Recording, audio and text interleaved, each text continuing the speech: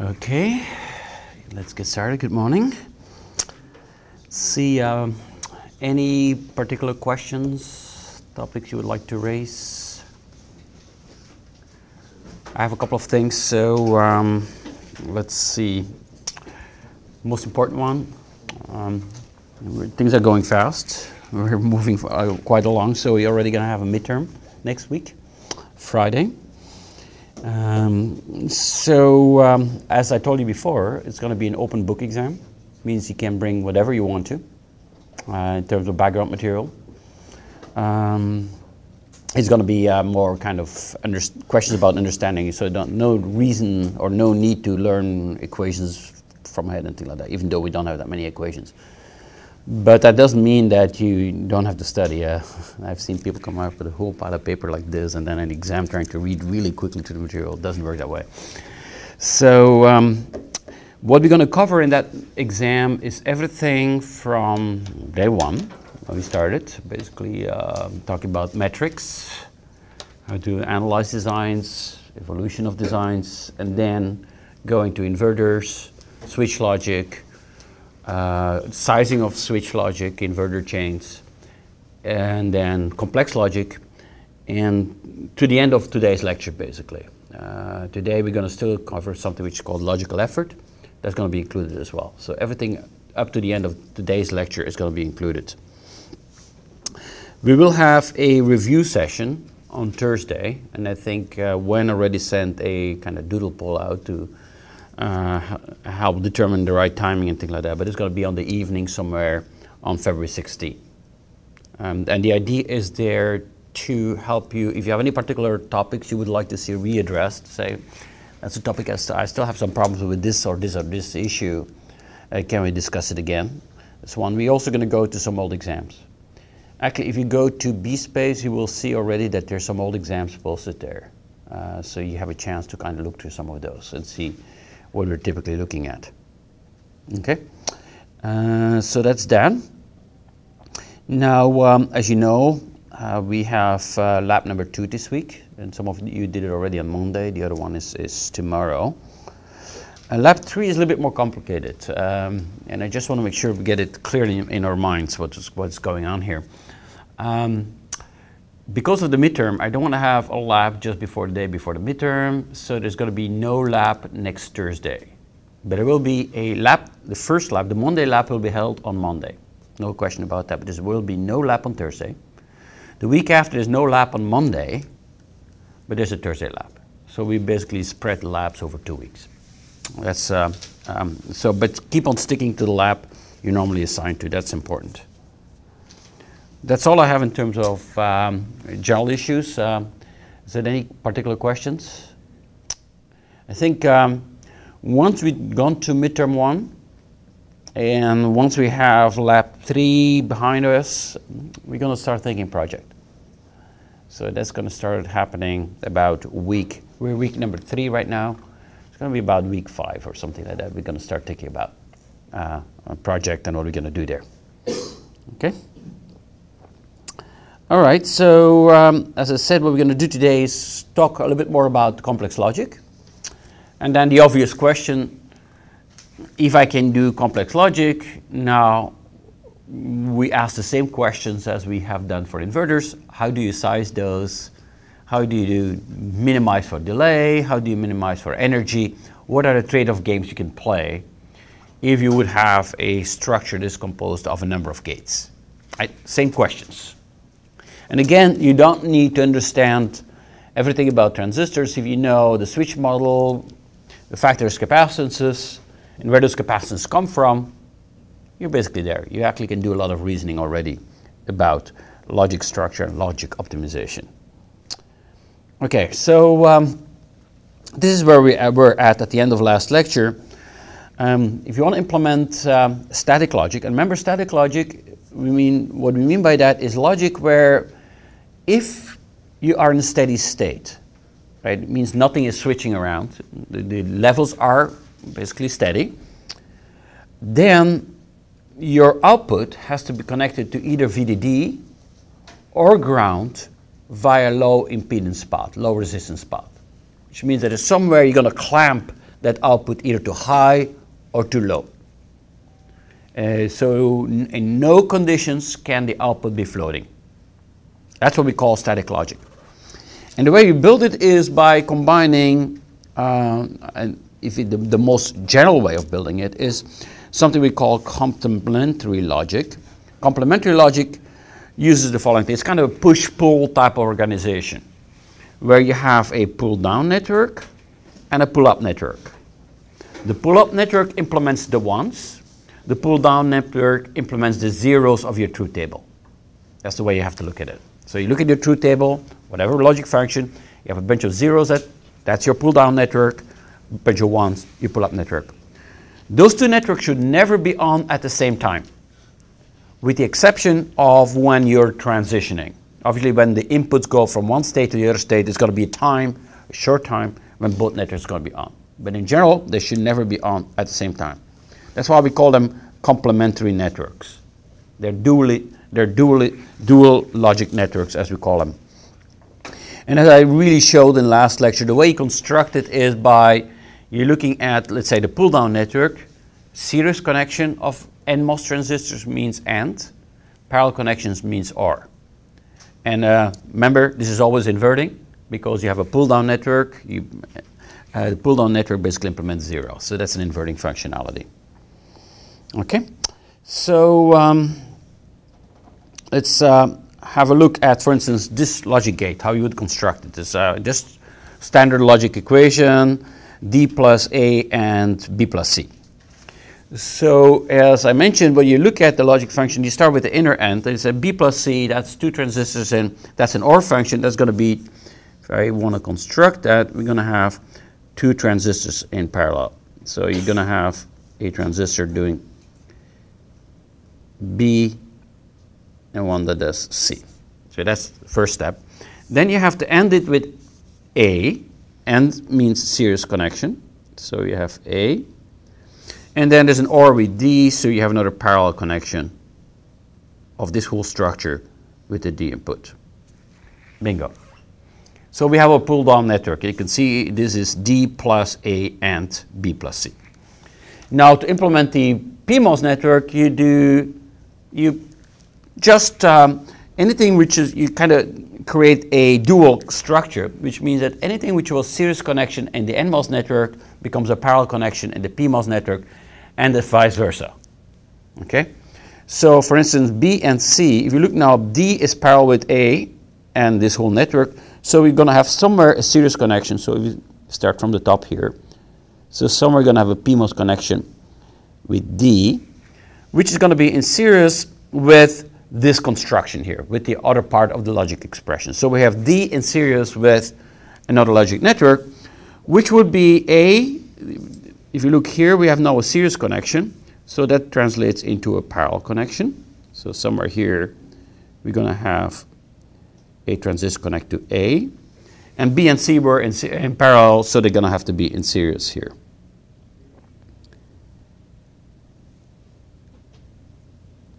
And that's it. So as you can see, these are perfectly dual networks from each other.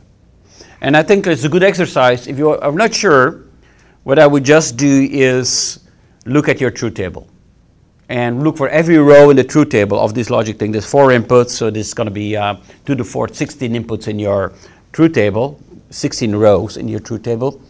You look at are all my zeros implemented, are all my ones implemented? Okay? If you don't know a logic function, just construct a truth table and you will see basically what emerges. Okay? So later on, I will explain how you can efficiently implement this. Uh, this is just a circuit diagram. If I want to do a layout of this, obviously you're going to have to think a little bit. Because where do I do my PMOSs? Where do I put my NMOSs? What's the order of my transistors in such a way that I give efficient layout? That's a different story, we're going to talk about that in a couple of lectures. But that's not the issue for today. Now, what I haven't told you anything about yet is how to size those devices. Right? Um, I have now eight transistors in here. How would I choose the relative sizes of the NMOS and the PMOSs, or the various NMOSs? Will I make them all the same size? Or will I make them different sizes? What should I do here? That's an important question to think about because it's going to impact, obviously, the performance. Now, um, let's do some preliminary thinking about this. Okay? Assume again that I have a capacitance here. And we're going to make life easy. In reality, capacitance are going to be sitting all through this structure, right? There's going to be some capacitance con- connected to this internal node. There's going to be connect capacitance here. There will be capacitance here. There will be capacitance at this node in the network. So in reality, the capacitors are going to be somewhat distributed. We're going to make life easy and we're going to assume that we can bring all the capacitors to the output and consider as a single load capacitance, like we did before. Uh, make, uh, we're going to go back. We're going to come back to that later and see what the difference is. But let's assume right now that you have a single CL, load capacitance or intrinsic, and that is caused by all those parasitic capacitance of the transistors. Now, what's going to determine the propagation delay is obviously the resistance of the pull down network, pull down up network. But there's something you might observe here. If I ask you what is the resistance of this particular, let's say I look at the pull down network, what would the resistance be? Do you know? Can you tell me?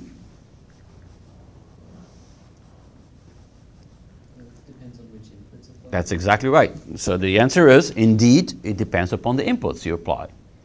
If, for instance, um, I turn on A, D, B, and C, all my transistors are on. A parallel connection of two resistors, as you know, halves, if they're equal, they would be halving that resistance. So you reduce the resistance by turning parallel paths on. You put things in series, the resistance goes up, it doubles. So we have to make sure that we um, manage to resist. Now, if you ask me, uh, okay, so, so what we have established here is that the resistance is going to be variable. It's not determined in advance, it depends upon the inputs. Then the question is from a propagation delay perspective, if my resistance variable, if I want to optimize my propagation delay, what should I look at? What should I concentrate on? Sorry? Series connection. series connection, that's in the right direction. That's correct. But uh, why would you pick the series connection? Because they have higher resistance. They have higher resistance, but I'm trying to lead, uh, lead to, if I look every, so my, what I'm alluding to is that the propagation delay is going to be variable, right, because the resistance is variable. What propagation delay do I care about most? The worst case. The worst case. Indeed, because you have to make sure that under any particular condition, I'm al- always meeting my timing constraints. I have to meet my clock frequency. So you have to look at the worst case. So, what's the worst case in this particular circumstance? What's the worst case condition, let's say, from a pull down network?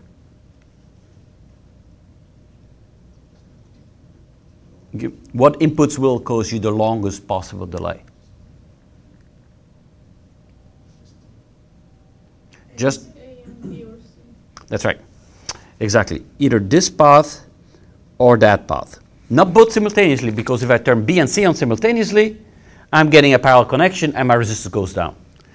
Not D, because that's a single resistor, but it's A and B in series, or A and C in series. That's going to be the worst case.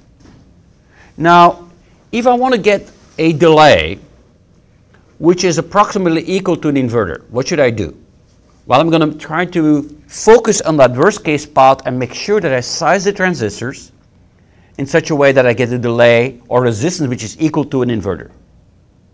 Remember, if I assume that the resistance of a minimum sized NMOS device would, for an inverter would be 1, then um, what I should do is double the sizes of transistors in series, if they're, if they're on the critical path.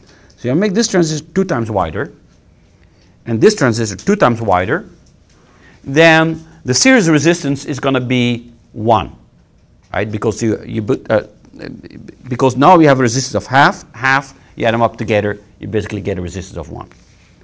So I'm going to make this one 2 as well, because it's a parallel path. Either A and B or A and C are my worst case path. D I don't care about, because if D only is on, if only D is on, we just have the resistance equal to a single uh, transistor, so we keep this equal to 1. So what I did is I double the sizes of transistors which are in series connection, or I, if I have more transistors in series, I would make, make them even larger than that. And if they're in parallel connections, I just leave them the same. So let's do the same thing for our uh, PMOS network. What would be the worst case there?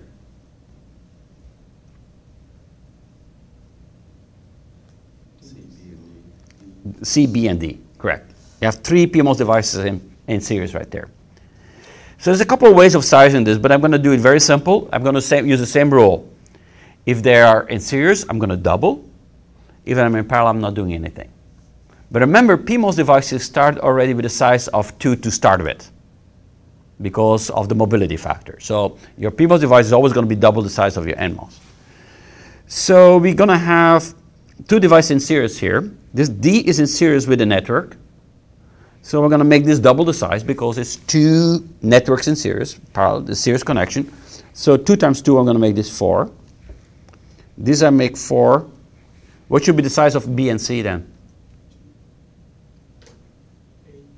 Eight. 8, indeed. And now you can see that under any condition, if I look at the worst case, my resistance is going to be equal to that of a minimum size inverter, 1. Okay? So that's the way you go along sizing those devices. But as you see now that you already start noticing something that you should be aware of. Remember when we sized inverters? We really were talking, thinking a lot about, uh, well, it's nice to size them up, but it has a side effect. And the side effect was what? Larger input. larger input capacitance. Now you can see what's already happening here. If you have all those transistors in series and parallel, or mostly in series, we make them bigger, we keep the resistance within check, but we're going to create load at the previous stages. You already start seeing that complex logic by nature is going to be slower than a simple inverter. The more fan in I get, the slower my gate will become. That's a necessity. Okay? So that's kind of getting some background on sizing. We'll come back to that, but that gives you an idea of really what's going on here. So to wrap up everything we discussed last lecture, uh, CMOS properties, what holds for an inverter holds for a complex gate, full rail-to-rail swing. If you size them correctly, we have a symmetrical VTC. Again, the VM should be somewhere in the middle. Uh, propagation delay is a function of load capacity and resistance, no static power dissipation, and direct path during switching. Okay. So, you already saw that it's non-trivial to talk about delay of a complex gate. And, and, and sizing is not going to be trivial. Now, if I, I, showed you already what you can do with a simple gate, but now if you put a whole bunch of the gates in, se- in sequence, if you have a complex network, how are you going to size your transistors? How are you basically going to determine um, what structure to choose? And I give you one example here. I, I show you three times three implementations of exactly the same function. This is, uh, if you look at it, this is an eight input AND gate, right? You have an NAND gate followed by an inverter. There's an eight input NAND gate, AND gate. Now I can implement an eight input gate in three different ways, or many, or, no, actually, there's more than that.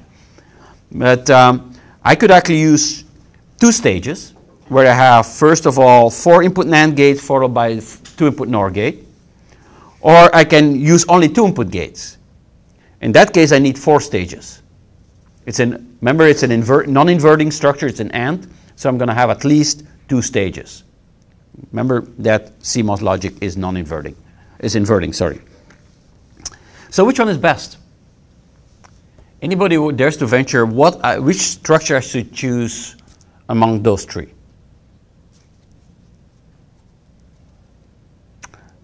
Who votes? Let's let's label them. This one, two, and three. Which one of them would be the preferred structure? One, two, or three? Who votes for one? One vote for one. Who votes for two? Okay, okay. And who votes for three? Okay, so it's an even kind of some distribution. And the answer, you're somewhere right, because I don't know the answer either. It really depends. It depends upon a couple of factors. Number one, obviously, best for what? Well, propagation delay would be the primarily course, right? But what I don't know is how much load capacity do I have? If I don't tell you in advance what load capacity is, it actually might change. If there's a very small load versus a large load, I might actually choose a different structure. Or there might be a different optimal structure. If I look at energy versus performance, you might again choose for different structures. Uh, the optimum might be this structure if I think about energy. Actually, from a performance perspective, this might be best or something else might be best. So the question is how do we answer this? And again, we're going to try to create a framework where I can analytically think about this, where I don't have to basically guess or simulate, but try to do some simple analysis to say what is the structure that's going to be the best one for me. By the way, this thing here, this eight input AND gate, uh, it's an AND gate, but we also very often call it a decoder. Why do we call it a decoder? Well, if you have a memory, memory structure, large memory, you apply an address lines to that memory. Uh, those address lines are going to be binary encoded, right? The number. So I want to get word number 17. 17 that's going to require five bits. Now the decoder is going to translate this into a completely expanded form where only one out of the n, 2 to the n line is going to be high. And that's implemented using AND gates. It says uh, my address is going to be A, B, C, D bar, E, or something like that. That's an AND gate that you're trying to implement. So that's why we call it decoders. Again, we're going to talk more about decoders later on. So, question one.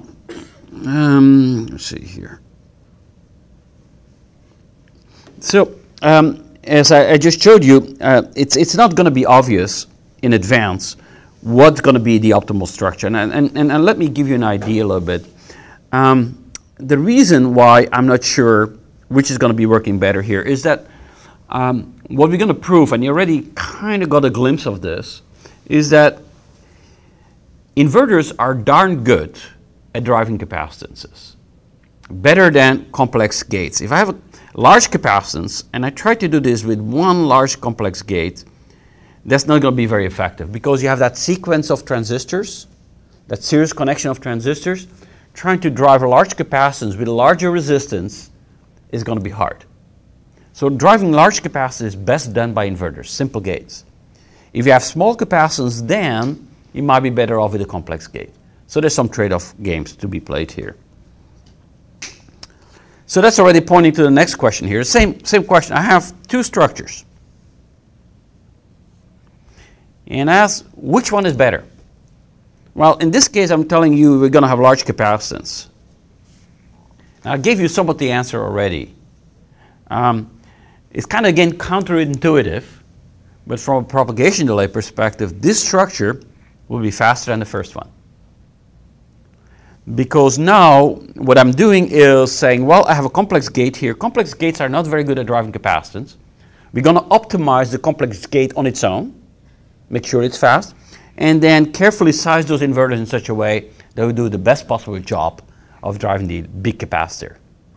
Okay? So it's a divide and conquer strategy again.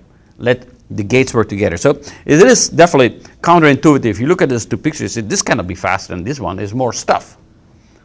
But indeed it is. Definitely if I have the keep the input capacitance into mind. Okay? So what we're going to do is um, trying to introduce a method that answers both of those questions, the ones I showed you. I should be able, in the end of the day, if I give you the load capacity, you should be able to tell me what structure is better and how to size it. And as I mentioned, this is going to be an extension of the buffer sizing problem. We, we learn about the buffer sizing. You have an inverter chain. What you do is divide the load over all the different elements, and then we choose a number of stages equal to four or approximately so that we have the optimal fan-out structure. Okay? Now, in order to do so, we're going to have to do some work. Uh, this is what we did for buffer sizing. We said a couple of things. We said that we're going to make each stage do the same amount of effort. Uh, are we divided the capacity fan out over all stages? And that's done by making sure that the capacitance at any node is the geometric means between the load capacitance of the previous state and the next stage. And the, the typical fan out, the optimal fan out will be around 4. Okay? So now, I already talked about complex gate sizing, so I don't think I have to repeat that. I did already with the example. Remember what we did? So when you do complex gate, we're going to size it in such a way, we look at the worst case path, and we're going to make sure that we size it in such a way that we get a resistance which is equivalent to what was basically the case for a single inverter. Okay, so let's look a little bit at the two input NAND gate. Just give you an idea of what the propagation delay of a NAND gate could look like. Okay, here's our NAND gate. Two NMOS transistors in series, two PMOS transistors in parallel. From a sizing perspective, we use a rule we already defined.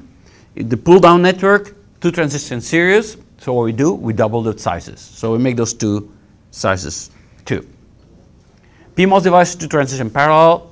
We keep them at the same size, which was already two. So all your transistors in this case will be W over L of two. Okay? Now, what does that do from an overall capacitance perspective? So we have sized resistors. Let's look at capacitances a bit. Um, I'm going to look particularly at the output node. Let's assume that intermediate nodes don't have any capacitance. That's very small. Okay, let's assume that for the time being. So I look at the output node. The drain capacitance at node out is going to be what? It's going to be the sum of the drain capacitance of transistor A and the drain capacitors of the PMOS devices A and B. They're double in size, so we assume that the drain capacitance is going to get doubled as well. So my total capacitance is going to be 2 plus 2 plus 2 is 6 times the drain capacitance of a minimum size device. Is that clear? So I have a drain capacitance here which is equal to 6 times CD. Now what is our gate capacitance? Looking into the gate, we see that, um, let's look at input A. It's going to be, it might be variable from gate to gate, obviously, uh, from input to input. So you look at input A, what I see is two transistors with size 2, right, a PMOS and an NMOS device.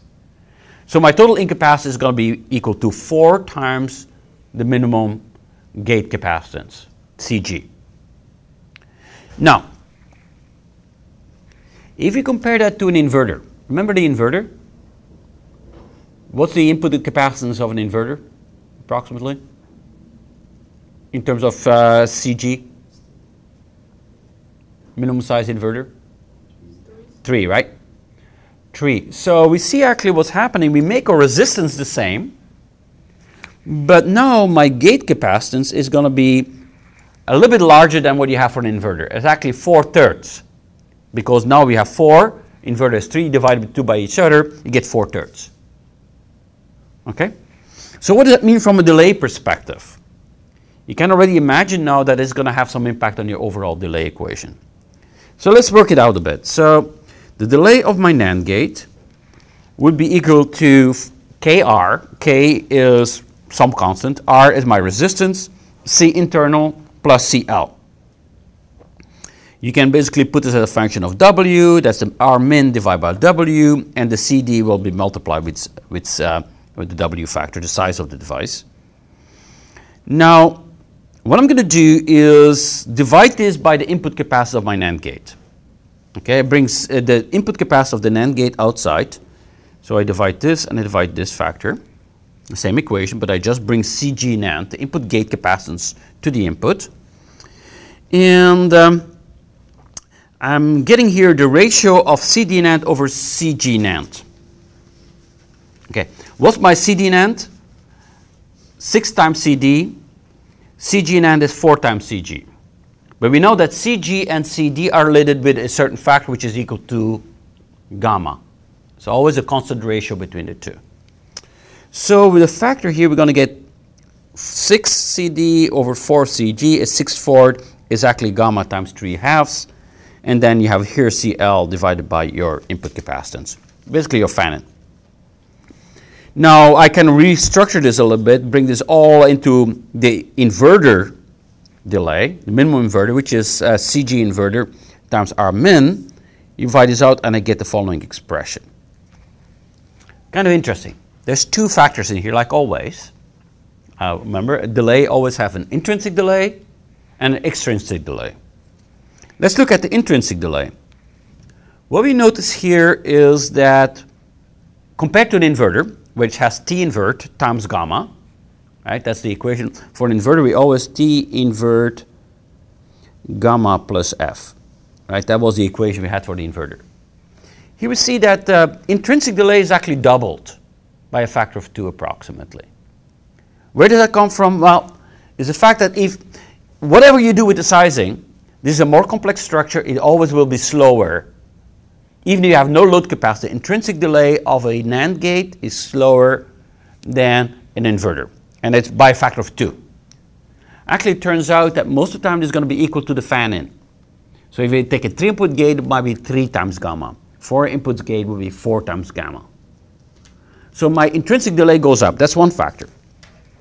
The second one we observe is very important as well, and it's purely a result of this capacitive ratio here. You get more input capacitance in complex structures. We get basically a factor F, as we expected. The delay should be proportional to the fan out. The more capacitance I load the device with, the more delay I get. But there's another factor in here, that factor 4 third, which is popped up right here. For the same resistance, I'm getting a capacitance, incapacitance, which is a little bit higher, 4 third actually. What it says is that this gate will have a harder time driving capacitance. Instead of uh, having a delay which is equal to F, proportional to F, it's going to be 4 turns times 4 thirds times F. So this already shows you that complex gates have a harder time driving capacitance fast. So that's uh, an example. It's, um, but it's a fairly generic result because if we do the same thing now and we look at a two input NOR gate and the same deal. Um, now, if I size the devices, it's going to be slightly different. The NMOSes are in series, in parallel, so we keep them the same size. So they're both minimum size type of transistors. The PMOSes are in, are, are in series, so they have to get doubled up. So we make them four. Now, if you look at the input capacitance of this structure, uh, for the same resistor, what you see here is that my input capacitance, load capacitance is the same. This uh, 1 plus 1 plus 4 is 6 intrinsic load capacitance. Input, if I look at input A, I see capacitance which is equal to 5 times CG. Or overall, compared to an inverter, it's not 4 thirds, but it's 5 thirds. Which shows that uh, NOR gate will have a harder time than a NAND gate driving a capacitance fast. Um, again, that's uh, not a surprise because here we, um, the difference between the two is as follows. In the NAND gate, we're putting, if you look at the series connection, we're putting NMOS transistor in series. In the NOR gate, we put PMOS transistor in series. The PMOSs are already bad. If you put them in series, going to make it even worse. So that already says that if I look at complementary CMOS logic, if I want to make something fast, I'd rather use NAND gates than NOR gates. NOR gates are not very good because of this series connection of PMOS devices. But the bottom line, however, is that the 5-3 factor pops up. If I go to the same analysis of the delay, I'm getting this expression. It says now that my delay is going to be equal to 2 times gamma, intrinsic delay, same as for the NOR gate. As I said, they, that intrinsic delay is primarily a function of your fan-in of the gate. And we have another factor here which says that, which is now 5 thirds of F, which really shows, again, that it's harder to drive capacitance with a NOR gate than a NAND gate. But remember, there's a multiplier factor here now. So how do you generalize this? Well, I'm, I'm seeing that for the inverter, we have an equation which says T invert gamma plus F. That was our equation. We're going to add a couple of extra parameters in here. Two parameters. This, this one here and this one here. These are the two extra parameters we're going to have in our equation. Okay, let's do that. There we go. This is what we call a, the generalized expression for propagation delay of any possible gate. So two parameters we added. P. P we call the intrinsic delay. It is something, it's an intrinsic delay factor, and it's a pure function of the delay of the structure of the gate, the fan-in of the gate. So it's not impacted at all by the sizing. It's something if I look at a given technology, I look at my gate structure, I can determine P, we're done. Okay? And as I said, typically it will be equal to the fan-in, approximately. The other one is this multiplier factor of F. And this we give the name of logical effort. Kind of what it says is if you have more logic into a certain function, driving capacitance is going to get harder. So it is a measure of the complexity of the gate, LE. And I'll come back to that later.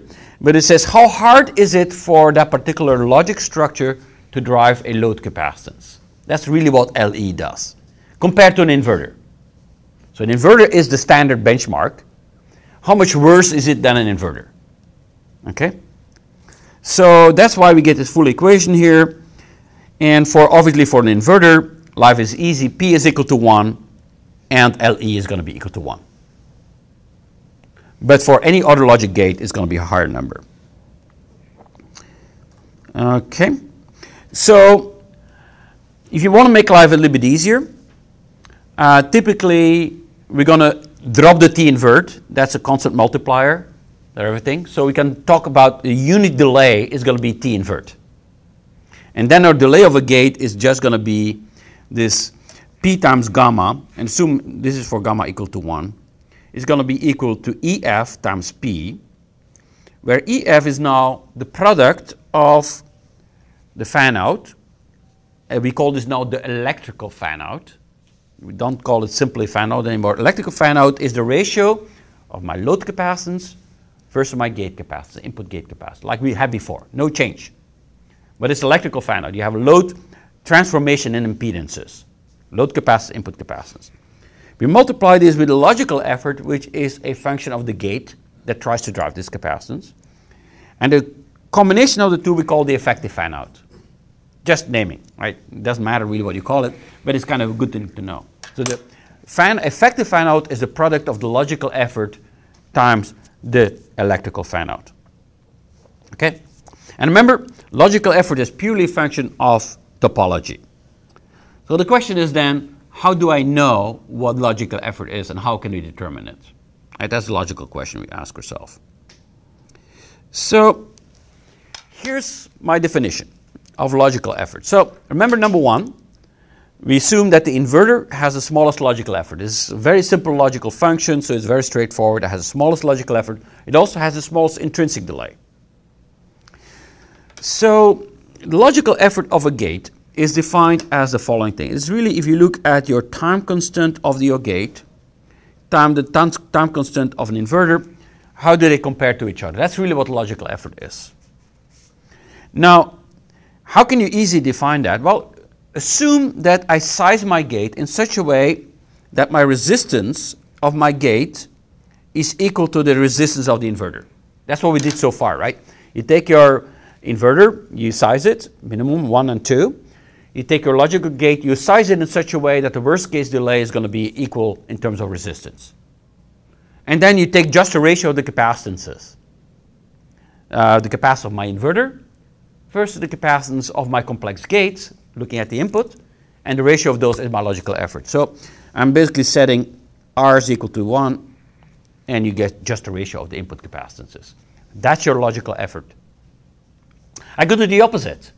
I could size them that have the same input capacitance, and I compare the resistances. Same deal. Right? That's the easiest way for us to define logical effort. And I'll show you. Um, uh, I'll show it to you with a number of examples. Um, show you how to compute logical effort, because it's important. We're going to give. We're going to compute logical effort very regularly. It's a very important property of a gate. And later on, we're going to start talking about different logic families. Not complementary CMOS anymore, but we might talk about dynamic logic or pass transistor logic and all those type of things. And the way we're going to compare them is what's the logical effort? Compute me the logical effort, and then you can compare apples and apples. Is it better or is it worse? How much is it better? Right. So that's the trick. Make the resistances equal, look at the input capacitance, or make the input capacitance equal, look at the ratio of the resistances compared to an inverter. And as you already know, logical effort increases with gate complexity. So let's look at some Um, I already gave you the answers at the bottom here. You know already some uh, because we already did it. But look at the inverter. Obviously, my logical effort of an inverter is going to be equal to 1 because you compare it to an inverter. That's 1. NAND gate, you size them in such a way that the minimum resist, that the resistances are the same as the inverter. So series connection, you double devices, parallel connection, keep them equal. You look at the input capacitance, I see an input capacitance of 4. For both A and B, it's symmetrical. The same deal. So 4 is the input capacity of the NAND gate. Inverter has 3, 4 thirds. So it's 4 thirds times worse than your um, two input NAND gate would be.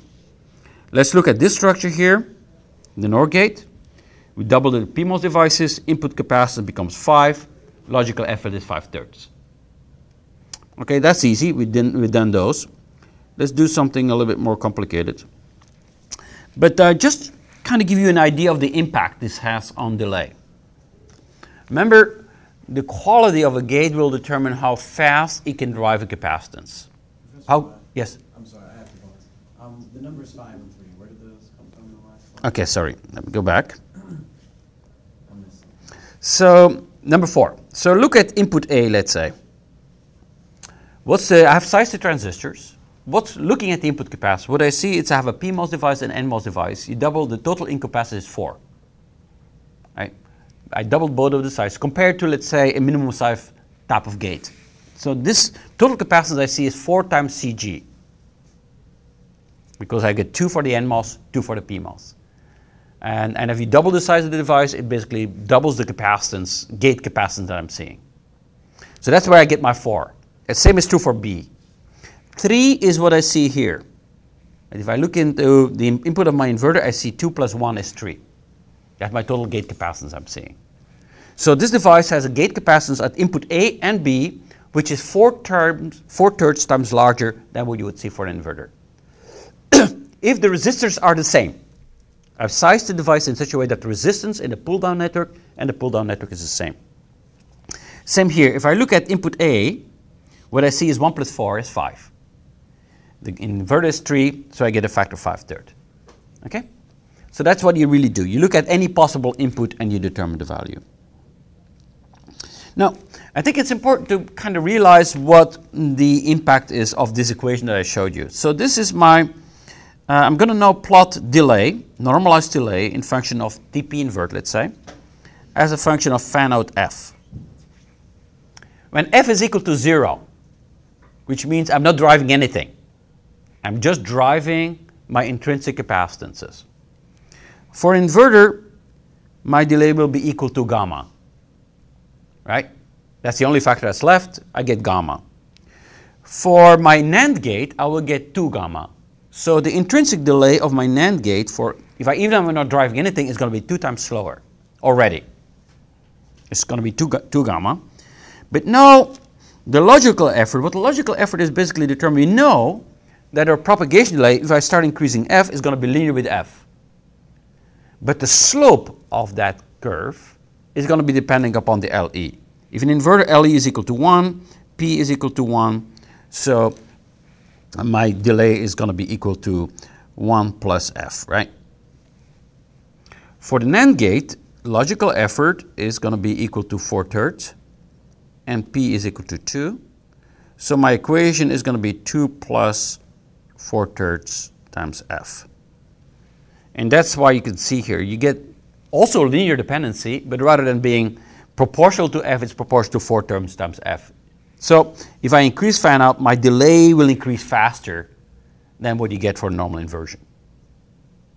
So that's really what logical effort does. It manipulates the slope of your fan out factor.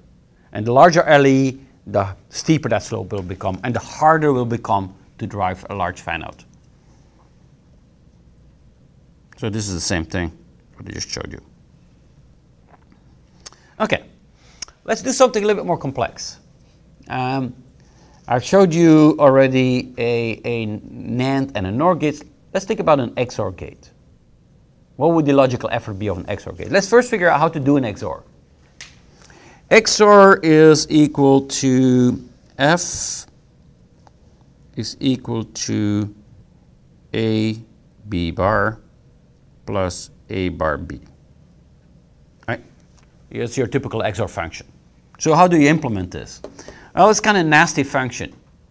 Uh, XOR is one of the worst functions to implement in complementary CMOS. Remember, complementary CMOS always has to be non-inverting. If you have a single stage, it's a, a single stage will always be inverting.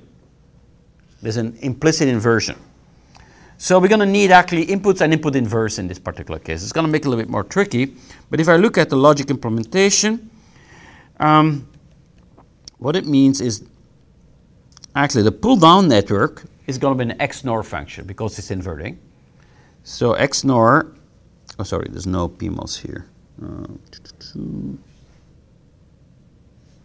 we go. You have an NMOS, NMOS. So this is going to be A and B in parallel. Oops. I'm kind of insisting on these PMOSes here. There we go.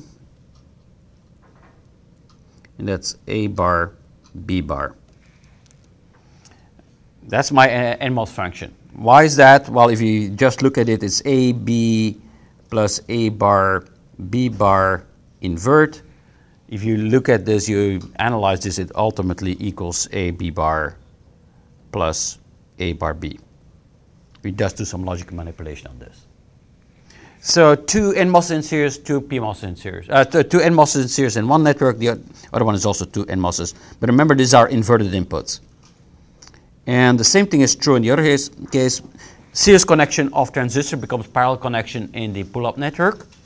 So I'm going to have here two PMOSes in, in parallel.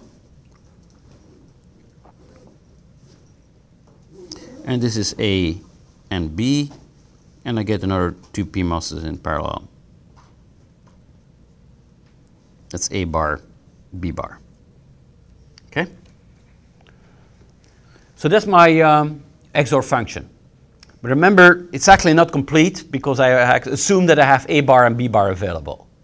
If I really want to implement a full XOR gate, I would have to also determine, add some inverters at the input so that A becomes A bar and B becomes B bar. So I need two more inverters to really implement the complete function. But let's assume that I don't for the time being. So let's figure out how to do the sizing. Well, the sizing is actually not that complex. Um, series connection of NMOS devices is what? You double the devices. So this is going to be 2, 2, 2, 2. All the same. We all double them because we have two devices in series. PMOSes, same story. In the worst case, I have two PMOS in series, so this is going to be 4, 4, 4, 4. Okay? Clear? All right. So now what's the logical effort?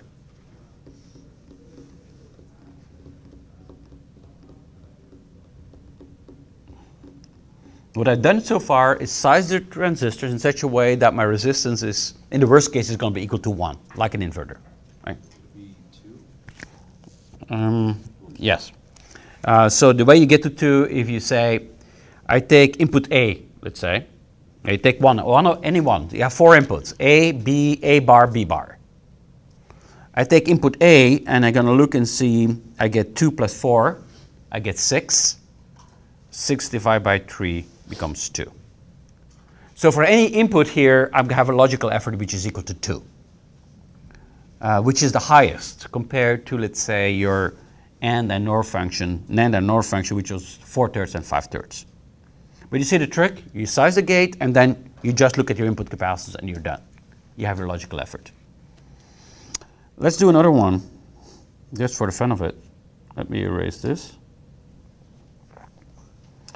Uh, let's do a multiplexer. Um, anybody familiar with a multiplexer, what it does? It's quite straightforward. Is a multiplexer is a function that allows you to use a single control signal, which I call C, to select between two inputs, A or B. So you have, this is the symbol typically for a multiplexer. You have one control signal, C, you have A, B, and F. And logic function is as follows. When C is high, I might select A. So A, C plus B C bar. So when C is high, the output is going to be equal to A. When C is low, I'm selecting B. So it's kind of a router. You have a couple of inputs, and you select out of the inputs which one you're going to see at the output using a control signal. If you have only two inputs, you have only one control signal. You have four inputs, you need two. Right? You have to select between four possible values. That's a multiplexer, very important element. You can see it over and over again. We use this a lot. Again, how do you implement this? Well, it's quite straightforward. You have, um, I'm not going to talk about ordering of transistors yet. So if I look at the overall function, and I'm going to just do the inverted version here. I'm just going to do f bar just to make life a little bit easier. You can do the other one too, but it is not. It doesn't make that much of a difference. I'm going to put C here, C bar, A, B. And then the uh, other network is just going to be the inverse parallel connection. Parallel connection, PMOS, PMOS, PMOS, PMOS. And this is going to be A, C, B, C bar. Okay? Again, how do you size it? Exactly the same way. Same deal. This is going to be 2, 2, 2, 2, 4, 4, 4, 4. So for A and B, I'm going to see the same thing. C and C bar are a little bit more complex, but then again, you get the same logic expression, basically 6 over 3. You get 2 as logical effort. Okay? So that's just a couple of examples how to compute this thing. And here's some, here's some expression. Now, you can now do this for two inputs, three inputs, n inputs. Let's say if you look at the NAND gate, you get n plus 2 over 3, where n is the input. NOR gate, you can see 2n plus 1 over 3. So this really clearly shows you that NAND gates are preferable than NOR gates when you have CMOS logic. The multiplexers and the XORs are a little bit more complex here. What they actually did is combine, if you have A and A bar, they call this a bundle. You say if you have always single and single invert, I'm going to bundle them together and take the capacitors of those two together. That's why you get those numbers that I show here. Um, it, I, it, it's a metric, but it's not something that I would recommend I, um, because it's not very clear what that really means. Okay. Now, so you have my equation. Remember, delay is now equal to P times gamma plus LE times F. That's my delay equation. So I can now start using this to do the same thing as we did before. Suppose, the same questions, suppose I have n gates in sequence. Number one is, how do I size those gates? And number two, how many stages should I have?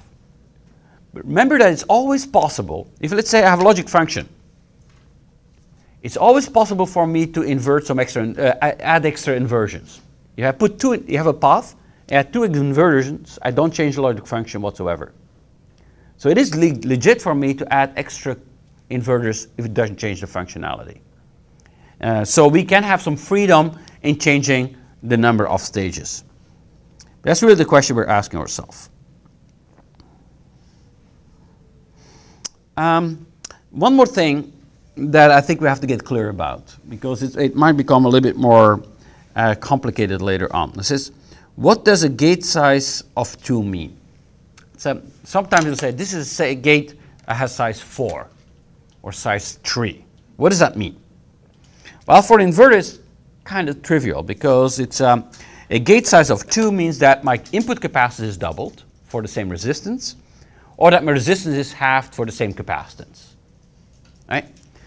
For a gate, there's actually a couple of different options. If I say double, um, it might be either be double the gate capacitance or it might be half the resistance. And they don't go together. They don't, one doesn't mean the other one. Inverter, it always means if you have one, you have basically the other one, is the case.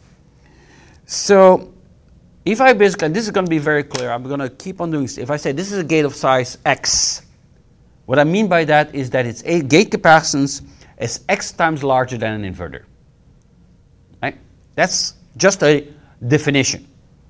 Um, but I think we have to make sure that we are clear about this. If I talk about gate X, it says this gate, if you took a Total capacitance looking into it is going to be x times larger than your uh, inverter type structure, a unit inverter. Okay? So that's important because we, we're going to use that quite a bit in the next equation. There's another thing that we haven't talked about, and it's something that you have to be aware of. Um, if I do, so far we looked at inverter chains. And they were kind of fun and easy to handle, uh, but kind of boring because it doesn't do anything. It just drives capacitance. Now I can say, okay, I'm going to make this a little bit more complex. I'm going to make these logic gates. I might have a NAND gate, a NOR gate, and so on and so forth.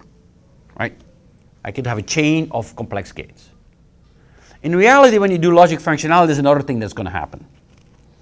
Uh, we're not just going to do series connection, but occasionally you might branch out. Right? You have one gate driving a number of gates. Fan out, really. Okay? That's important, but it's also going to change our equations a bit because now this gate is not only driving towards this path, trying to minimize the delay along this path, but there's some other paths as well that come into the game.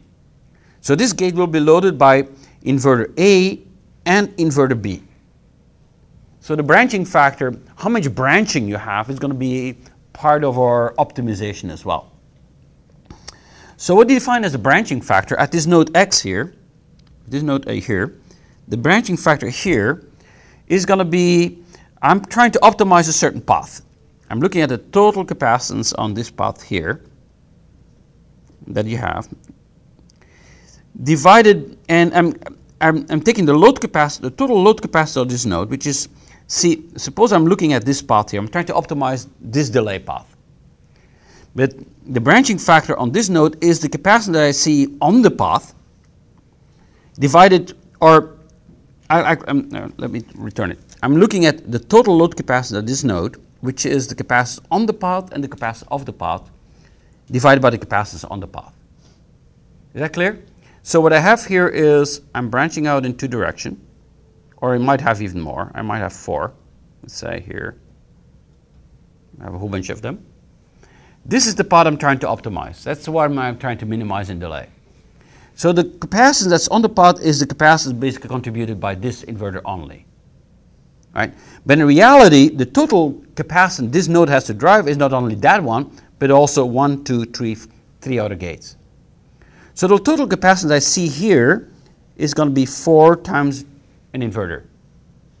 The only capacitance on the path itself of interest is going to be 1. So my branching factor in this case is going to be 4. I'm having, I have to drive 4 times more capacitance than the capacitance on the path itself. Okay?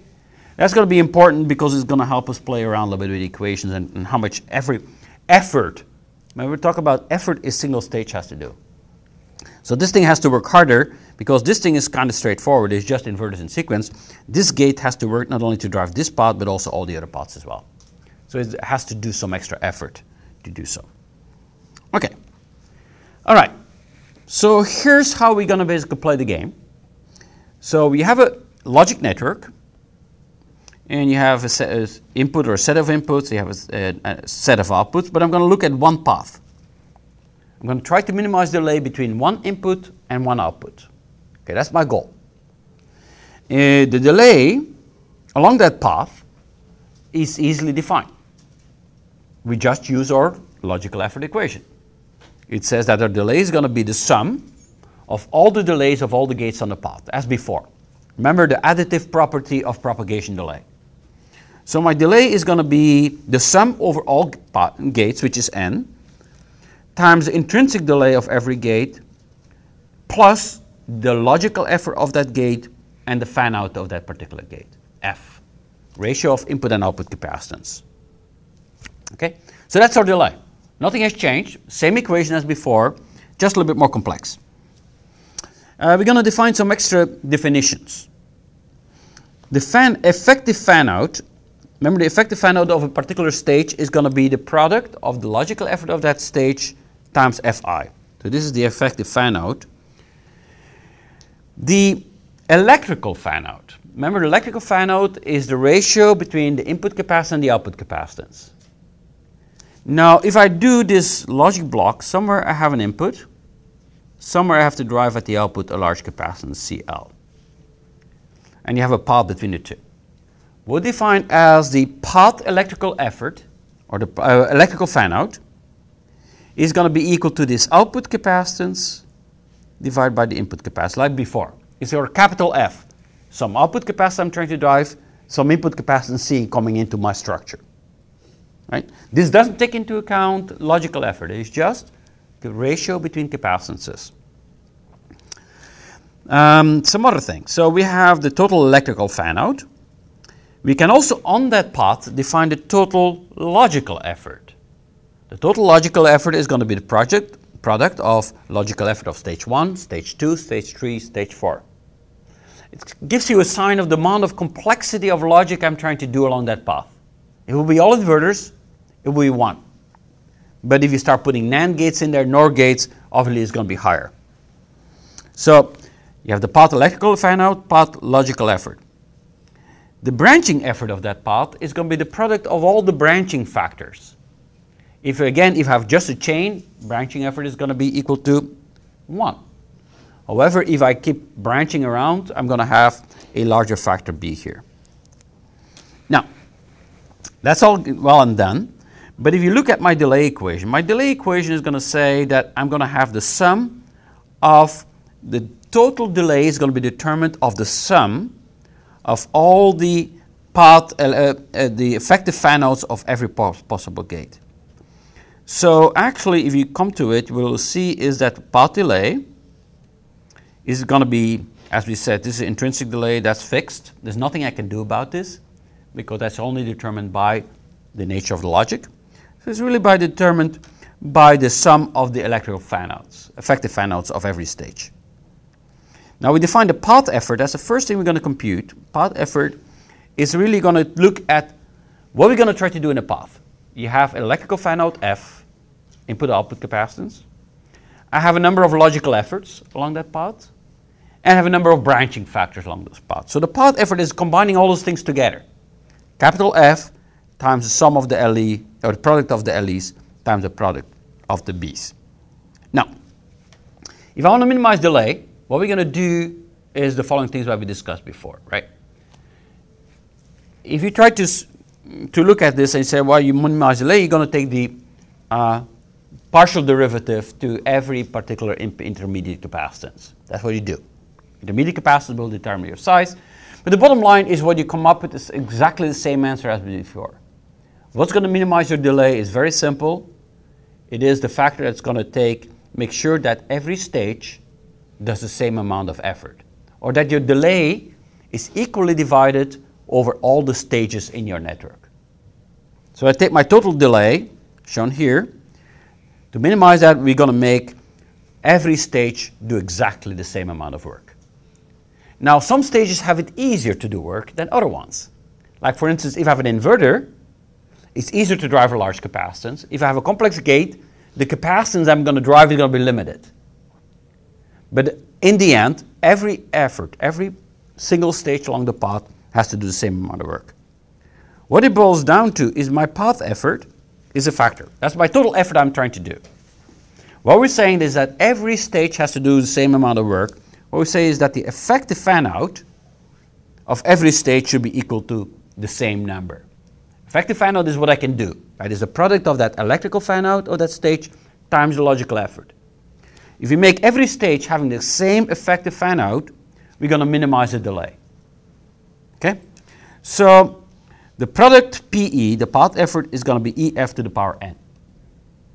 Okay? We make all of them exactly the same, and the optimal value that we're looking for is EF. So what's the effective fan out of every gate?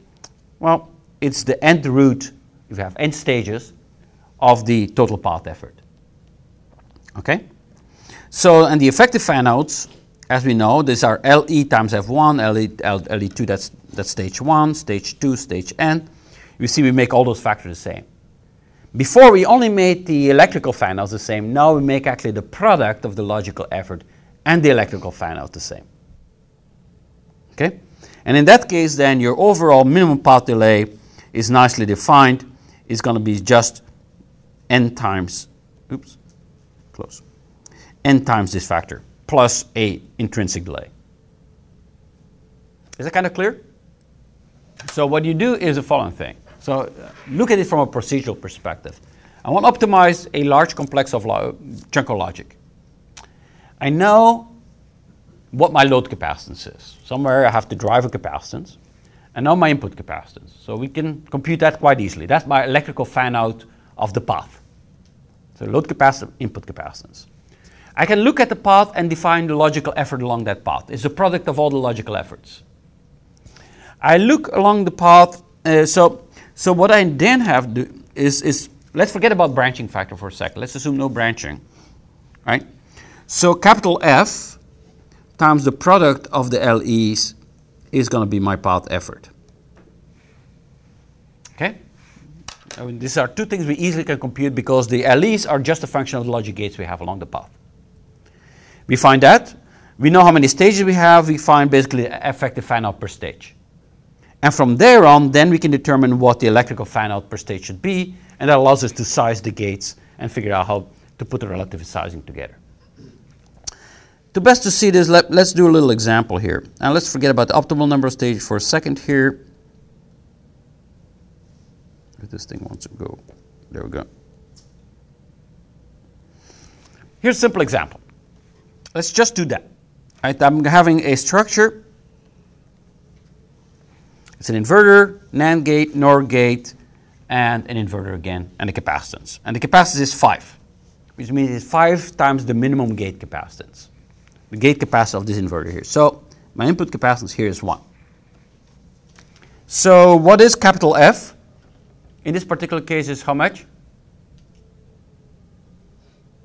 That's my total path electrical fan out. Is going to be how much? 5, right? It's how much ratio between output capacitance, load capacitance, and input capacitance. That's 5. Now for each gate along the path, I can compute the logical effort, or I know the logical effort. This is a inverter. Logical effort is equal to 1. Okay? The, this is a three input NAND gate. Logical effort is how much? 5 thirds. Remember, NAND gate is 4 thirds, but if you start, it's if you make n larger, it goes gradually up. So 5 thirds for this NAND gate. NOR gate, we know that two input NOR gate, logical effort is 5 thirds. In the last inverter, logical effort is 1. So along this path, what is what we call the path logical effort, or the product of the logical effort is how much? Well, it's going to be 1 times 5 thirds times 5 thirds times 1. That's 25 over 9. That's how much effort I have to do from a pure logical perspective along that path. So, what is our path effort now? Well, the path effort is a product of the total electrical fan out we're having, capital F, times the logical effort of all my stages. So it's going to be 25 over 9 times 5 is 125 times 9. Okay? So let's give you a sign how hard this part has to work. Now we're going to say, we're going to basically define, or to optimize this structure, we're going to divide equally the load over all stages. How many stages do we have here? Four, right? Four stages. Two inverters, NAND gate, NOR gate. So per stage, I'm going to take the nth root out of this number. So I'm going to do 125 over 9 times 1 quarter.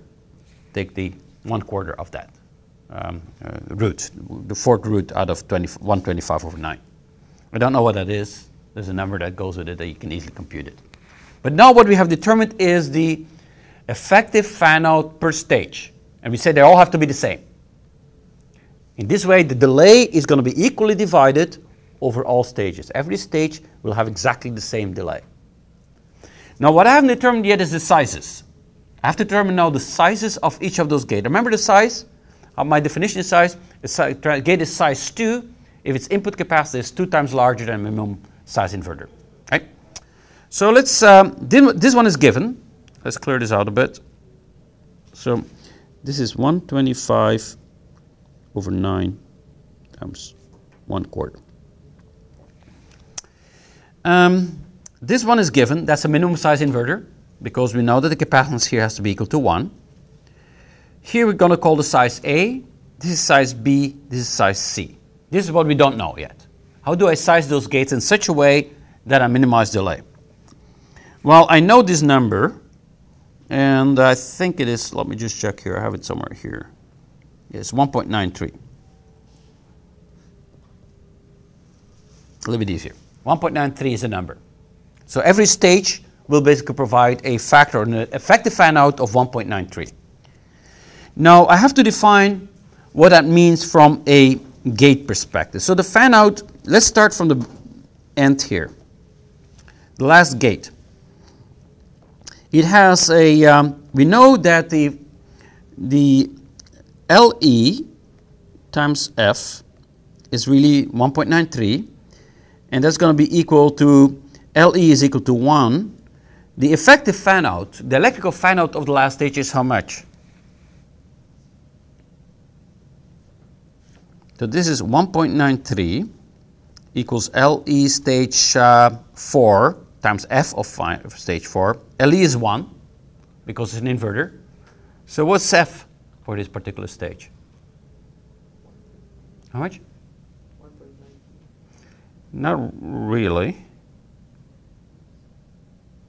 What's the load capacitance? Load capacitance is 5, right? Fan out is 5, so we know 5. What's input capacitance?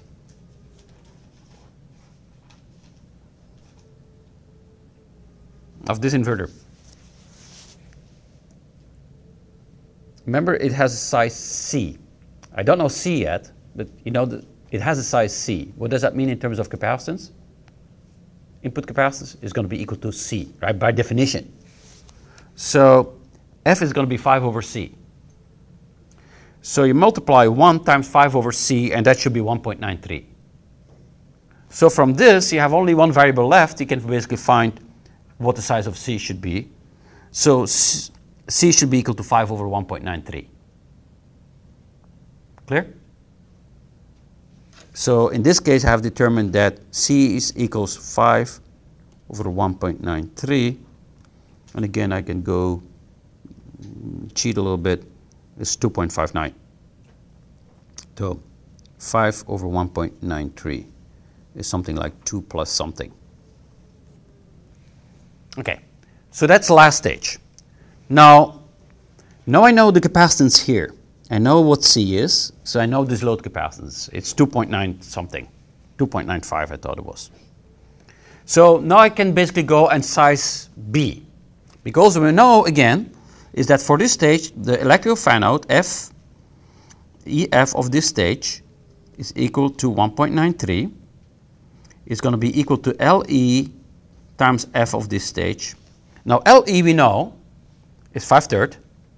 It's a two input NOR, uh, NOR gate, so it's 2 point, it's 5 third times what F is F? Well, F is ratio of the load capacitance versus the input capacitance. Load capacitance is how much? Yes, it's equal to C, right? Input capacitance is what? Is B. We don't know B yet, but you can write it down. So the 1.93 is equal to 5 thirds times C over B. But we know C already, we can compute B. So we have determined this capacitance. And I can do the same thing now going to the first stage and compute A. And we're done. I have sized all my gates. In such a way that my delay of my longest path, or this path particular, is minimized. I equally divided all the loads over all possible gates. So if you look at the numbers, just to get an idea here, you see that uh, now we have sized the kind, kind of structure quite bizarrely. You see, for instance, the inversion uh, inverter is sized larger than the complex gates. And that's again because of the fact that the inverter has an easier time driving capacitances. So they become larger. But uh, this is non trivial anymore. For inverters, you could kind of see it's all the same thing, they all have the same logical effort. Here, logical effort will determine how the relative sizes of the gates in the path is going to work out. Okay? Now, we can come back to the old question um, what's going to minimize the overall delay? Um, I already determined here, in this case, the number of stages is fixed. So what I'm trying to say is here, in this case, you're going to minimize delay by making delay over every particular gate equal. if I want to minimize the overall delay, the absolute minimum, I can also choose the number of stages. For instance, I should be perfectly legit for me to add two more inverters in the end. I, I could do that. If it helps me to get a better result. And remember, the, um, now that's not obvious in this particular case that you, because the load capacity is fairly small. You're not driving to drive a lot. So in this case, actually adding more gates won't help you very much. But you will imagine that the best, the optimal answer, the, answer that gives you the best possible delay is when the effective fan out of every stage, EF, is equal to 4. We come up with the same answer again. You try to, if you try to minimize the overall delay, what you try to do is make sure that every stage does the same amount of work. And then you basically figure out what is going to be, if, if I can choose the number of gates, what's going to be my optimal answer, while EF is going to be equal to this factor E, or the same equation that we had before. There's nothing different there, as shown right here. So the same equation, the delay is n times PE to the power 1n plus this intrinsic delay. If you now say, well, I have the freedom to choose how many stages I have, I compute n, you're going to come up with exactly the same expression again. It's going to be Uh, 3.6 is gamma is equal to 1. It's more close to 4 is basically the answer we're going to use. If gamma equal to 0, it's still effective out per stage should be equal in that is equal to E or 2.7818. Same answer. No difference. It's the same equation. But now instead of minimizing the electrical fan out is the effective fan out of every stage. That should be 4. Okay? That's the only difference you have between the two. Okay? So let's do one more thing. Uh, I have one more complicating factor I want to add, and that's the branching factor. I haven't talked about that. So let's, oh, before I go there, let's go back to our old question. That was the question I was asking at the uh, beginning of the lecture. Which one would you choose? If you have all those structures here, you have an 8 input AND gate. I can implement this as a two stage with some 8 input AND and inversion. I can use 4 input gates or I can use 2 input gates. Which one is better? And I said, I don't know the answer, but no, at least I can think about this a little bit more reasonably. If you look at this, um, for this structure, it has two stages. One of them has a logical effort of 1. Uh, we now know that the logical effort of an 8 input NAND gate is going to be 10 over 3. So the total logical effort along the path here is 10 over 3. Um, again, we go to the next one. Has four input NAND gate. It turns out that the logical effort of a four input NAND gate is 2. And a two input NOR gate is 5 thirds. And then finally, we look at the last one 4 thirds, 5 thirds, 4 thirds, 4 and 1. So let's now do a comparison. What I already can start looking at is from a pure logical effort perspective, which one is going to be better? And we see that the first one has 10 thirds, 10 thirds, and 80 over 27. Now, if I multiply this by 9, you see this is equal to 90 over 27. What it says from a pure logical effort perspective, this one is going to be the best. Kind of again counterintuitive. But you have to be careful because there's another factor that plays. You cannot ignore the fact that there's also a intrinsic delay connected to this. The intrinsic delay of an 8 input NAND gate is 8, right? We say that the intrinsic delay, the P factor, is approximately equal to the fan in. So 8 plus 1 is 9. That's the delay you have without driving any load capacitance. This one has 6, and this one is 7. Okay? So which one is best? Really depends. If I have a very small load capacitance, if this is tiny, then this factor will dominate. And actually, the second structure will be the better one. If the load capacity is very large, logical effort will become more and more important. And this one has by far the smallest lower logical effort. Actually, using two input gates is going to be the best possible solution. And that's something you always see. If you really care about speed and you have a fairly large load capacity out there, you're going to use very small gates. Instead of using gates with four inputs, eight inputs, six inputs, you're going to use a chain of small gates, and that's going to give you the fastest answer. Again, non uh, intuitive, but by just thinking about logical effort, I already can start reasoning about this. Something was very hard to do before we started the lecture today. Okay, so as I said, I still have to talk about branching factor, but I'm going to postpone that to the beginning of next lecture. It's not going to change that much, it's just that we're going to change our equations a little bit. We now have to look at the total path effort. Total path effort between input and output is not only going to be, right now we say it's electrical fan out, input versus output capacitance, logical effort on the path, but we also have to take into account the branching effort, the amount of extra capacitance we have to drive. So we multiply, the path effort is now going to be the product of the total branching effort, total logical effort, electrical fan out of the path. And we're going to again divide this equally over all stages, same as we did before. Okay? Good. So this is important. Um, a, as I said, this part is still going to be part of the midterm. And you may expect somewhere a logical effort question on the midterm. I can kind of guarantee you that. Uh, I know already. So, so be, make, make sure that you do some exercise on this because it takes a little bit to kind of work yourself through it. But overall, as I said, now you have all the tools in your hand to really think about optimization of fairly complex logic networks.